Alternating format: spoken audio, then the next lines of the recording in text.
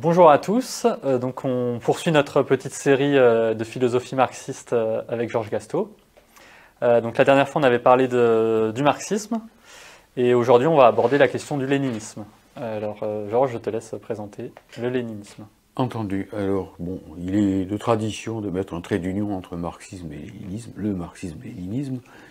Et euh, donc je précise tout de suite qu'il ne s'agit pas, à mon avis, de deux choses différentes. C'est la continuité du marxisme. Le marxisme-léninisme, ce n'est pas euh, autre chose, c'est la continuité dans des conditions nouvelles du marxisme.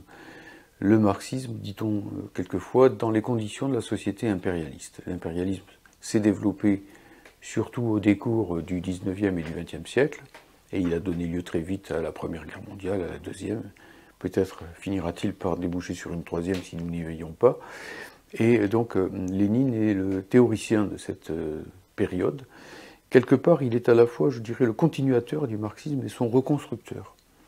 Le continuateur, parce que Lénine ne s'est jamais dit léniniste, évidemment, c'eût été euh, d'ailleurs présomptueux et même ridicule, mais il s'est toujours dit marxiste orthodoxe, c'est-à-dire continuateur de Marx et d'Engels. Et euh, en même temps, force est de reconnaître que c'est un reconstructeur, parce que tout de même, bon, Lénine a dû écrire à une époque et travailler, euh, militer, à une époque où la deuxième internationale, largement euh, créée par Engels, avait totalement dévié du chemin marxiste et était devenue petit à petit une internationale réformiste, une internationale non marxiste malgré ses protestations de fidélité à l'esprit du marxisme. Et donc il a fallu reconstruire. C'est d'ailleurs une leçon générale. Quand on est un peu dialecticien, on sait bien que les choses ne se contentent pas de durer. Mais comme les conditions changent, eh bien, il faut sans cesse construire et reconstruire. C'est comme un être vivant. Un être vivant, c'est pas quelque chose qui dure simplement, c'est quelque chose qui refait sans cesse son corps. Eh bien, voilà, donc je dirais Lénine, euh, continuateur, reconstructeur euh, du marxisme. Alors, le marxisme je dis, de la période euh, impérialiste. Alors, euh, Lénine en est le meilleur théoricien. Dans un livre que tout marxiste ou tout, apprenti marxiste doit avoir lu, c'est pas le bout du monde d'ailleurs, et qui s'intitule L'impérialisme, stade suprême du euh, capitalisme. C'est un ouvrage donc euh, que Lénine écrit en 1916, dans lequel il explique d'une façon précise ce qui caractérise le capitalisme de son époque. Comme vous le voyez, c'est en pleine période de Première Guerre mondiale. Et il nous montre que l'impérialisme, eh bien, c'est toujours le capitalisme. C'est le capitalisme que Marx a analysé, mais qui a accusé un certain nombre de traits qui étaient latents et qui sont devenus manifestes dans euh, le capitalisme du XXe siècle.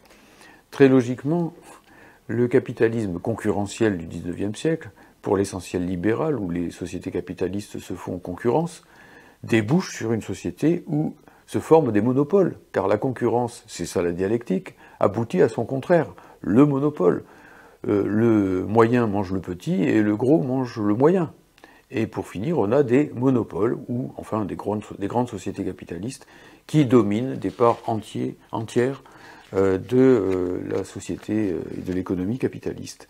Et donc on entre dans la phase de ce qu'on appelle le capitalisme monopoliste ou monopolistique. Et par ailleurs, effectivement, ce capitalisme monopoliste, il se heurte très vite, dans au fait que désormais, bon, les prix ne vont plus être librement fixés par la concurrence, mais que ce sont les monopoles capitalistes qui vont s'entendre entre eux, avec souvent la complicité de l'État, pour faire régner ce qu'on appelle des prix de monopole. Et puis aussi au fait que, euh, très naturellement, comme Marx l'avait prévu, eh bien, euh, l'évolution du capitalisme euh, va mener à ce qu'on appelle une baisse tendancielle du taux de profit.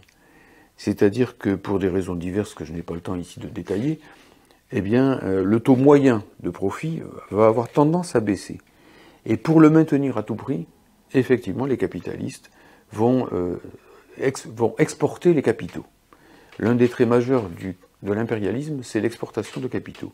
C'est-à-dire qu'il faut aller chercher en dehors des frontières, et notamment dans les pays qui ne sont pas encore développés, et où les salaires sont bien plus bas que dans les pays capitalistes centraux. Au XIXe siècle, c'était en gros l'Angleterre, euh, les États-Unis, la France, et ainsi de suite. Donc, en Amérique du Sud, en Afrique, en Asie, et ainsi de suite, aller chercher donc des euh, profits supérieurs, des surprofits, parce qu'on va avoir affaire à euh, une surexploitation de la main-d'œuvre d'origine paysanne, pour l'essentiel, des pays du tiers-monde. Ce qu'on n'appelait pas encore les pays du tiers-monde, à l'époque, on disait, euh, à l'époque de Lénine, on disait l'Orient. Hein. Voilà, donc ça, c'est un deuxième aspect. Et tout ça va dessiner un capitalisme beaucoup plus, euh, comment dirais-je, rapace, beaucoup plus réactionnaire que le capitalisme du XIXe siècle. Dans le manifeste du Parti communiste de Marx et d'Engels, il y avait tout un éloge, tout à fait paradoxal, du capitalisme. Car même si le capitalisme est un système horriblement exploiteur, c'est aussi un système qui a révolutionné le monde, qui a euh, introduit partout la technique, qui a développé la production d'une façon extrêmement importante, avec des dégâts environnementaux que je n'ai pas besoin de commenter. Mais bon, voilà, encore à l'époque, il est porteur de cet élan qui était encore l'élan des Lumières, qui était l'élan de la Révolution française, et ainsi de suite, et qui va être ensuite de plus en plus euh, contenu, parce que la classe, parce que la classe bourgeoise est devenue une classe dominante, parce qu'elle a remplacé l'aristocratie, parce qu'elle dégage elle-même avec les monopoles capitalistes une nouvelle oligarchie, une aristocratie financière, et parce qu'effectivement, le capital bancaire et le capital industriel vont fusionner, les banques vont prendre peu à peu le pouvoir euh, dans l'industrie, en quelque sorte, c'est ce qu'on appelle le capital financier, et cette domination du capital financier, cette prédation sur l'ensemble des pays du monde, va conduire à toutes sortes de phénomènes extrêmement réactionnaires et négatifs, au point que Lénine va expliquer que le capitalisme, dit-il, c'est euh, le capitalisme pourrissant, le capitalisme agonisant, et il ajoute, c'est la réaction sur toute la ligne. L'impérialisme. L'impérialisme, j'ai dit, oui, euh, non pas le capitalisme. Le capitalisme parvenu au stade de l'impérialisme, en effet. Et donc, effectivement, que euh, ce capitalisme est de plus en plus prédateur, et par conséquent, qu'il va apporter, il apporte déjà à son époque, bah, par exemple, son lot de guerres mondiales, de mondialisation des guerres avec des dangers croissants pour euh, la civilisation. Euh, par ailleurs, cet impérialisme ne fait qu'accuser un trait majeur qui est celui de ce qu'on appelle le développement inégal des différentes sociétés capitalistes. Euh, quand il y a impérialisme, nécessairement, eh bien, ça signifie que, en gros, le monde a déjà été partagé entre les principaux prédateurs, entre les principaux États capitalistes, et que donc, périodiquement, Dès qu'il va y avoir un capitaliste qui fléchit un peu dans la course au profit et qu'un autre lui passe devant, eh bien, il va y avoir une tendance au repartage du monde.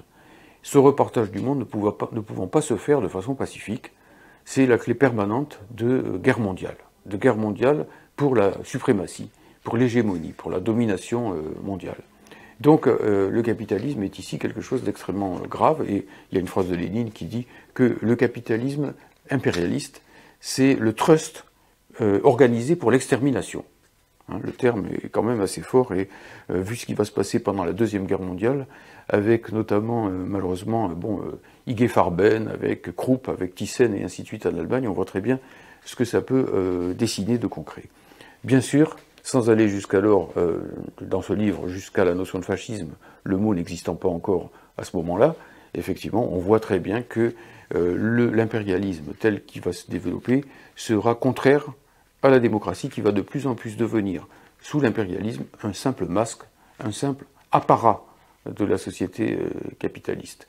Et que même la démocratie bourgeoise, telle qu'elle a pu exister au XIXe siècle, va de plus en plus souffrir et va devenir euh, de plus en plus, effectivement, une, euh, une apparence, pour ne pas dire quelquefois une pure et simple mascarade, en quelque sorte. Voilà, alors ça, c'est en quelque sorte la théorie de l'impérialisme. Je ne peux pas la développer totalement, elle est très riche, il faut euh, faire l'effort de, lire donc euh, la petite brochure de Lénine que je viens de signaler, l'impérialisme, et vous verrez en la lisant qu'elle est d'une stupéfiante actualité. Quelquefois, on a l'impression qu'elle a été écrite euh, avant-hier matin, pour décrire la société actuelle. Alors, deuxième chose maintenant que je voudrais dire, c'est que le léninisme, c'est aussi ce qui va nous permettre de comprendre en quelque sorte l'essence de notre temps, l'essence de notre époque. Euh, c'est en quelque sorte, si vous voulez, l'analyse du moment actuel. Lénine insiste toujours sur cette expression de moment actuel. Et euh, les léninistes, les marxistes-léninistes, vont évoquer l'idée que, effectivement, eh bien, euh, l'époque du capitalisme impérialisme actuel, c'est l'époque où le capitalisme est déjà dépassé historiquement, où il ne se maintient plus désormais que de façon purement artificielle, et où il lui faut, justement, pour se maintenir à tout prix, développer le fascisme, développer les guerres, développer euh, toutes sortes d'entreprises plus réactionnaires les unes que les autres, parce que, en quelque sorte, l'histoire ne veut plus du capitalisme. Les masses ne veulent plus du capitalisme et pourtant elles n'ont pas encore eu la force complètement de se débarrasser de lui. On est donc dans une période intermédiaire qui est une période très dangereuse, bien sûr, et euh, une période que je résumerai par euh, deux expressions. C'est la période du passage du capitalisme au socialisme. Il est indispensable à notre époque que le socialisme remplace le capitalisme, sinon l'humanité est mal partie. Et en même temps, les bases existent pour le socialisme, puisqu'avec la création de grands monopoles capitalistes, d'un certain côté, la production est plus socialisée qu'elle ne l'a jamais été. Elle est socialisée parce que toute la production dans les grandes sociétés capitalistes est interdépendante. Toutes les productions dépendent les unes des autres, et à notre époque de mondialisation, c'est encore poussé plus loin, bien sûr. Mais de notre côté, cette socialisation est imparfaite, puisque, euh, évidemment, elle reste dans les mains et au pouvoir de l'oligarchie, des plus riches, avec les États capitalistes derrière qui sont là pour faire en sorte que euh, eh bien, le Grisby, en quelque sorte, reste dans les mains euh, des, plus riches. Et donc il y a ici une contradiction complètement explosive entre le fait que la production est de plus en plus socialisée et que par ailleurs euh, elle reste pour l'essentiel privatisée aux mains des plus riches. Il faut bien que cette contradiction se résolve d'une manière ou d'une autre. Et par conséquent, ici, c'est vraiment cette période que Lénine qualifie d'antichambre du socialisme. L'impérialisme, c'est l'antichambre du socialisme, mais à condition de bien comprendre que ce n'est pas le mûrissement de l'impérialisme qui va conduire au socialisme, mais la révolution, la révolution prolétarienne. Hein. sinon, on aboutit à des thèses qui ont été celles justement des dirigeants de la deuxième internationale, qui attendaient en quelque sorte euh, du développement de l'impérialisme lui-même le passage au socialisme, comme si euh, effectivement donc euh, les impérialistes allaient sagement comprendre qu'il fallait en finir avec leur système exploiteur et en venir à une période plus sympathique, plus humaine, etc. Ça, ce sont des contes de fées, quoi, hein, malheureusement. Et donc, voilà. Et surtout, du même coup, notre période, c'est une période de révolution. On pense bien sûr à la révolution d'octobre que Lénine a animée, et ça serait quand même un comble que je n'évoque pas ce fait majeur, la création de l'Union soviétique, la création de l'international communiste, ce sont quand même la création du parti bolchevique, voilà au moins les quatre points sur lesquels, sur lesquels Lénine est un géant de l'histoire. Hein. Le parti bolchevique, euh, qui a été l'outil principal de la révolution d'octobre, euh, la révolution d'octobre qui a donné naissance à la fois à l'Union soviétique, à l'international communiste et, soit dit en passant, au Parti communiste français, puisque même si aujourd'hui beaucoup de gens renient Lénine et, se disent toujours euh, communistes et partisans donc du PCF, ils oublient de dire que le PCF, ce n'est rien d'autre que l'adhésion à l'international communiste de Lénine, du Parti socialiste au Congrès de Tours. Hein. Bon, donc tout ça, mais du même coup aussi, c'est une période où Lénine l'a toujours dit. Euh, la messe n'est pas dite. On ne sait pas si le socialisme va gagner. Et euh, donc Lénine ne cesse de dire, euh, ne cesse de poser la question qui l'emportera? Qui l'emportera au final du socialisme ou du capitalisme? Et donc ici, il y a toute une réflexion pour savoir comment faire pour que euh, effectivement le capitalisme qui au départ est plus fort que le socialisme, qui euh, après euh, la révolution d'octobre s'est quand même maintenu dans la plupart des pays du monde, comment effectivement donc il peut aussi obtenir par toutes sortes de moyens, la guerre, mais aussi la contre-révolution, ou la combinaison des deux, le renversement du socialisme. Donc notre période, c'est à la fois la période du passage du capitalisme au socialisme, mais aussi une guerre permanente entre la révolution et la contre-révolution. La contre-révolution ne cessant d'attaquer la révolution, et aussi la contre-révolution dans laquelle nous sommes aujourd'hui. Nous sommes dans une phase de contre-révolution, euh, connaissant les contre-attaques de la classe ouvrière, parce que la contre-révolution est instable, est nécessairement instable. Elle ramène les pires euh, choses du passé, par conséquent, elle produit aussi l'aspiration à la révolution. Voilà, donc ça c'est un point important. Je voudrais dire enfin, et ça c'est un point qui me paraît très important pour la stratégie des militants communistes de nos jours, que le léninisme se trouve euh, à égale distance du gauchisme et euh, de la social-démocratie, du menchevisme pour employer le terme russe. Vous savez que Lénine c'était le chef du, de file du parti bolchevique et qu'il s'opposait aux mencheviks. Alors sur quoi s'opposait-il? Eh bien les mencheviks, pour aller à l'essentiel, penser que, euh, à l'époque euh, de la euh, fin du XIXe siècle en Russie, c'était la bourgeoisie qui devait diriger la révolution. Et que donc, en gros, eh bien, les socialistes devaient d'abord faire la révolution bourgeoise, puis dans ce cadre-là, eh développer le mouvement ouvrier, puis reporter aux calendes grecques la révolution socialiste. Et Lénine disait au contraire que la bourgeoisie était devenue incapable même de faire une révolution démocratique allant jusqu'au bout, et qu'elle était incapable d'abattre par elle-même le tsar et d'aller jusqu'au bout dans le remplacement du féodalisme, et qu'il fallait que ce soit la classe ouvrière qui prenne le relais. Et donc effectivement, euh, on voit bien qu'ici, Lénine, c'est pas la ligne de la subordination des ouvriers à la bourgeoisie. La social-démocratie, c'est la subordination de la classe ouvrière à la bourgeoisie. Le bolchevisme, c'est l'indépendance. C'est l'indépendance de la classe ouvrière et du parti de la classe ouvrière par rapport à la bourgeoisie. Ça, c'est un point très important. Jamais, sous prétexte de défendre la démocratie, la paix ou ainsi de suite, le parti ouvrier ne doit se subordonner, ne doit se dissoudre dans telle ou telle fraction bourgeoise. Ça ne veut pas dire pour autant que Lénine ait justifié, en quelque sorte, je dirais, euh, le gauchisme, dont la forme la plus classique, en quelque sorte, a été le trotskisme, à l'époque de, Lénine, avant la Révolution d'octobre et après la Révolution d'octobre.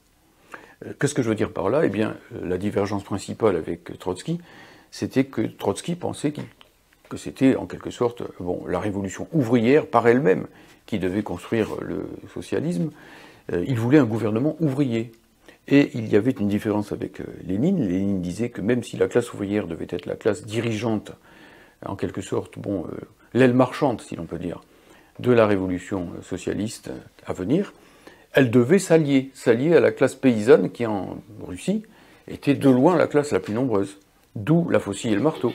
La faucille et le marteau, c'est l'alliance euh, du marteau ouvrier et de la faucille paysanne, en quelque sorte. Car s'il ne faut pas se dissoudre dans les fronts avec euh, la bourgeoisie, fût-ce une bourgeoisie démocratique, fût-ce une bourgeoisie antifasciste, fût-ce une bourgeoisie partiellement anti-impérialiste, ça existe, ça peut exister à la marge dans la bourgeoisie, euh, ça c'est le danger menchevique, il ne faut pas tomber dans l'erreur contraire. L'erreur contraire étant évidemment celle qui consiste à isoler la classe ouvrière et à dire la classe ouvrière toute seule, parce que sinon c'est de l'opportunisme, on va trop céder aux paysans qui sont des petits bourgeois, qui sont des propriétaires, qui ne veulent pas la socialisation, et ainsi de suite. Quel est euh, le moyen terme de tout cela? Le moyen terme dialectique entre le gauchisme des uns qui conduit au sectarisme et à l'isolement, et euh, le confusionnisme ou l'opportunisme des autres qui conduit à la subordination des travailleurs à telle ou telle euh, partie de la classe ouvrière? Eh bien, le moyen terme, c'est le rôle dirigeant de la classe ouvrière dans de larges fronts, aussi rassembleurs que possible, contre l'impérialisme, contre le capitalisme, pour faire en sorte que les ouvriers ne s'isolent pas, qu'ils gagnent par conséquent, qu'ils isolent l'ennemi principal, et donc, par exemple, eh bien, des léninistes comme Mao, sur ce point il a été un grand léniniste, ont toujours compris qu'il fallait toujours, dans les sociétés, distinguer les ennemis principaux des ennemis secondaires, voir quel était le côté principal, le côté secondaire d'une contradiction, et donc à partir de là, effectivement, faire tomber en quelque sorte l'ennemi euh, euh, capitaliste, mais par, euh, par tranche, en quelque sorte. Et donc arriver, de cette façon-là, de la façon la moins coûteuse possible pour la classe ouvrière, à vaincre un ennemi plus puissant, en isolant les plus dangereux, et petit à petit, donc, c'est la tactique des Horaces et des Curias, pour ceux qui connaissent un peu l'histoire romaine, en faisant en sorte donc que euh, la classe ouvrière ne s'isole pas, qu'elle dirige le front le plus large, et qu'elle aille le plus vite possible vers euh, le socialisme, sans perdre naturellement jamais de vue son objectif, la révolution prolétarienne et le communisme, bien évidemment. Alors, un dernier point peut-être, euh, c'est que du même coup, eh bien, le léninisme de notre époque, c'est aussi celui qui a été, euh, disons, euh, prolongé par notamment euh, les organisateurs d'un grand congrès de l'international communiste, qui a été le septième congrès de l'international communiste, dont le rapporteur était Georges Dimitrov, un bulgare, et Dimitrov a été le théoricien du front antifasciste, du front populaire antifasciste, patriotique, pacifique, etc.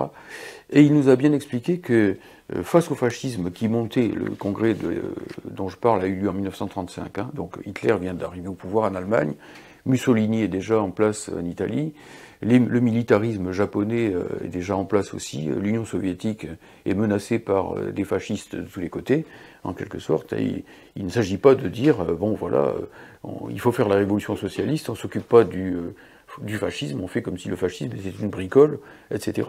Ça, ça, ne marche pas. Donc en fait, Dimitrov va euh, concevoir ce que c'est qu'un front populaire, antifasciste. Il s'appuiera d'ailleurs beaucoup sur ce qui se passe en France à la même époque, hein, et sur notamment le Front populaire français qui est en train d'émerger, avec notamment les innovations tout à fait intéressantes de Maurice Torres et de Jacques Duclos dans notre pays. C'est-à-dire isoler l'ennemi principal, isoler le fascisme. Pour autant, sans renoncer bien sûr à l'objectif qui est celui d'aller plus loin que l'antifascisme et bien sûr, pour finir, de renverser le capitalisme et de passer euh, au socialisme. Là encore, le moyen terme, c'est que la classe ouvrière doit tout faire, non seulement pour construire le front antifasciste, le front populaire, le front patriotique aussi, prendre la tête de la nation parce que le fascisme détruit les nations, parce que euh, le fascisme hitlérien est évidemment une machine à broyer les nations, y compris la nation allemande, soit dit en passant. Hein qui était broyé par euh, ce fascisme qui notamment euh, prétendait éradiquer euh, les juifs de l'Allemagne, alors que les juifs étaient une composante de la société allemande. Et donc effectivement, faire en sorte que le rôle dirigeant soit assumé par les communistes, représentants de la classe ouvrière, dans cela. Un dernier point maintenant, c'est la théorie du parti, parce qu'évidemment tout ça, ça ne se fait pas en claquant des doigts, c'est pas magique. Il faut se doter d'outils pour arriver à aller vers la révolution euh, socialiste. Il faut un parti. Ça, c'est ce que disait déjà Marx. Le manifeste du Parti communiste, et donc Lénine, il est totalement dans la continuité de Marx et d'Engels de ce point de vue-là. Et il va approfondir les choses, y compris euh, les approfondir dans la pratique, en dotant la Russie euh, d'un parti solidement organisé, qui est le parti bolchevique. Et donc, ce parti, ben, qu'est-ce qui le caractérise? D'abord, c'est un parti de classe, il est d'abord organisé euh, en direction de la classe ouvrière et dans la classe ouvrière, spécialement donc dans les entreprises, les cellules d'entreprise. Il a un journal qui est euh, organiquement lié à euh, la classe ouvrière. La Pravda, hein, qui d'abord s'est appelée l'Iskra et ainsi de suite, l'étincelle, donc ce journal qui était essentiellement lié aux militants d'usine et qui parlait de la vie dans les entreprises, qui faisait que c'était le journal des ouvriers. il est marxiste, il est théoriquement solide sur le marxisme, il forme ses militants pour qu'ils soient non seulement de bons syndicalistes, mais aussi euh, des théoriciens, des euh, intellectuels de la classe ouvrière, des gens capables de mener la bataille idéologique. Deuxième chose. Troisième chose, c'est un parti d'avant-garde. C'est-à-dire qu'il ne se contente pas d'aller aux élections et de faire le plus de voix possible, il essaye de précéder les masses. Euh, pas de les précéder de 50 km, hein. la formule traditionnelle c'est un pas devant les masses, un pas seulement, mais au moins un pas et de ne pas être simplement bon, ben, voilà, dans la recherche du buzz, comme aujourd'hui euh, certains qui se disent communistes et qui euh, vont euh, vous parler de la nécessité de manger de la viande, alors peut-être rouge, hein, si possible, pour faire communiste, mais c'est pas ça le communisme, évidemment. C'est la capacité d'aller aussi contre-courant, comme, l'a été, comme a été capable de le faire le Parti communiste français quand il était marxiste-léniniste, par exemple quand il a dénoncé les accords de Munich, par exemple quand il a combattu les guerres coloniales, alors que la SFIO, le Parti socialiste, euh, était euh, dans le sens du courant, hein, ou quand, par exemple, eh bien, les euh, précurseurs du Parti communiste français ont condamné effectivement l'Union sacrée de 1914 qui envoyait les ouvriers français se battre contre les ouvriers allemands pour le seul profit du capital. Voilà des partis qui savent marcher contre le courant, expression qui est aussi une expression de Lénine, et qui donc peut amener plus loin. Et enfin, dernière chose, c'est un parti qui est organisé selon la méthode du centralisme démocratique. Le centralisme démocratique, ça signifie effectivement qu'on discute de toutes les choses importantes en congrès, que c'est au congrès qu'on décide de l'orientation générale avec euh, le concours de tous les militants, et qu'une fois que c'est voté, eh bien, euh, tout le monde est tenu par ce qui a été voté à ce moment-là, y compris la minorité, qui a le droit de continuer à discuter, mais qui euh, doit appliquer la décision générale, et de faire en sorte aussi que les organismes inférieurs, locaux, soient tenus par la politique nationalement décidée. Et à partir de là, le parti non seulement peut être efficace, il ne va pas se diviser toutes les cinq minutes face euh, à la bourgeoisie, mais en plus et surtout, il peut être réellement démocratique, parce que si on laisse le parti complètement, euh, comment dirais-je, amorphe, aller dans tous les sens, suivre tous les mouvements euh, qui se présentent, et donc aller dans le sens du vent, à ce moment-là, ce n'est pas la classe ouvrière qui va diriger son parti, c'est la bourgeoisie, qui au contraire va sans arrêt choisir son écurie dans le parti, c'est-à-dire ceux qui sont euh, les plus proches d'elle, et qui va favoriser sans cesse les courants euh, les plus révisionnistes, qui, euh, de ce fait, on l'a vu avec les partis sociodémocrates, avec les partis socialistes, seront en réalité des partis bourgeois dans la classe ouvrière.